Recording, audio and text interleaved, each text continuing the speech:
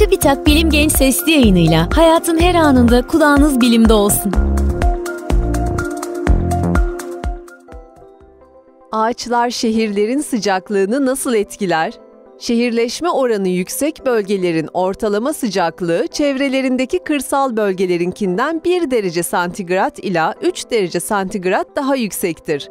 Geceleri bu fark 12 derece santigrata ulaşabilir. İlk defa 1818'de İngiliz bilim insanı Luke Howard tarafından kayda geçirilen bu olgu ısı adası olarak isimlendirilir. Güneşten dünyaya ulaşan radyasyon enerjisinin bir kısmı atmosfer tarafından soğurulur, bir kısmı atmosfer tarafından doğrudan uzaya geri yansıtılır, kalan kısmı ise yerin yüzeyi tarafından soğurulur. Dünyanın yüzeyi ise ışıma, konveksiyon ve buharlaşma ile ısı kaybeder.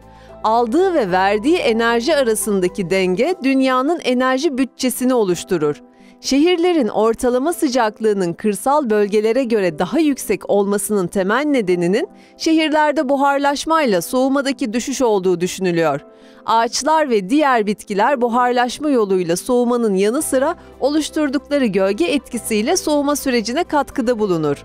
Örneğin gölgedeki bir nesnenin sıcaklığı aynı koşullarda güneş ışınlarına doğrudan maruz kaldığı duruma göre 11 derece santigrat ila 25 derece santigrat daha düşük olabilir. Ağaçların ve diğer bitkilerin yaprakları ve dalları yaz aylarında güneşten gelen enerjinin sadece %10 ila %30'unun alt kısımlara geçmesine izin verir.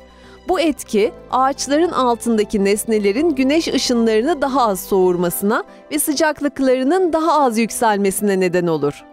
Ağaçlar ve diğer bitkiler ayrıca buharlaşma yoluyla soğumaya katkı sağlar. Su ve karbondioksiti fotosentez yoluyla besine dönüştüren bitkiler topraktaki suyu kökleriyle alır. Topraktan aldıkları suyun bir kısmını terleme ve damlama yoluyla yapraklarından ve gövdelerinden dışarı verirler. Sıvı halden gaz haline geçmesi yani buharlaşması için suyun dışarıdan ısı alması gerekir.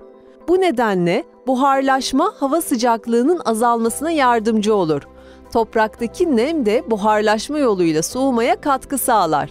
Araştırmalar buharlaşma ve gölge etkisinin yaz aylarında hava sıcaklığında 1 derece santigratla 5 derece santigrat arasında düşüşe neden olabileceğini gösteriyor. Şehirlerdeki binalar ve doğal olmayan diğer yapılar ve malzemeler güneş ışınlarını bitki örtüsünden ve topraktan daha fazla soğurur.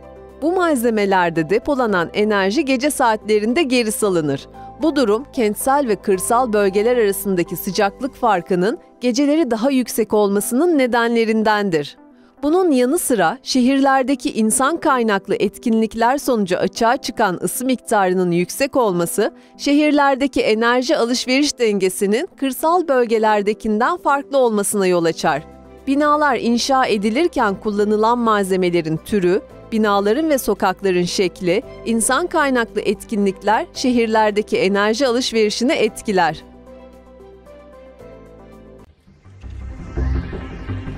Bilim Genç Sesli yayınlarını SoundCloud, Spotify, Google ve Apple Podcast kanallarımızdan takip edebilirsiniz.